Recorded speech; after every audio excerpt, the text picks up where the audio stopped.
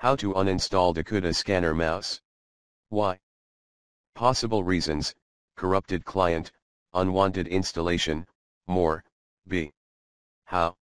Solution number 1, gain admin access and start standard uninstall routine, perform the traditional uninstall routine, restart your system, clean software remains and related components manually, restart your computer whenever you're ready. Follow me, exactly. C. Solution number 2, try the recommended uninstall tool in the description area, if this removal guide fails to work. Tip, please PM me if you need further assistance.